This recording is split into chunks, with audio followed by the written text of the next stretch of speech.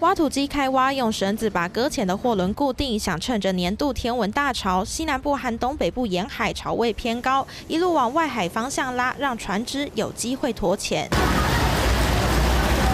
雨狂炸小琉球，民众被淋成落汤鸡，只能赶快躲到屋檐下避雨。大潮加上风向影响，天气不稳定，气象署也针对两个县市发布大雨特报。西南风不断的带水汽进来哦，所以今天在南部地区要留意，可能会有局部的短延时豪雨，中部地区也会有大雨。其他地方的话，虽然目前都还是属于多云的天气。不过要留意，中午过后可能会有午后雷阵雨，并且可能会有局部性的大雨哦。受到低压带和西南风影响，十九号到二十号清晨，南部要慎防大豪雨，中部离岛以及东北部也有局部大雨发生。到了二十号白天，水汽减少，降雨稍微趋缓，中南部离岛、双北和宜兰地区有午后雷阵雨。二十一号到二十五号，太平洋高压增强，中部、北部及宜兰花莲有午后阵雨，南部则是零星降雨。它受到太平洋高的导引气。气流大致上是比较以偏北的方向去行进的，特别是在二十二十一号，甚至在二十二号这段期间，要去韩国旅游的朋友一定要多加留意这个台风带来的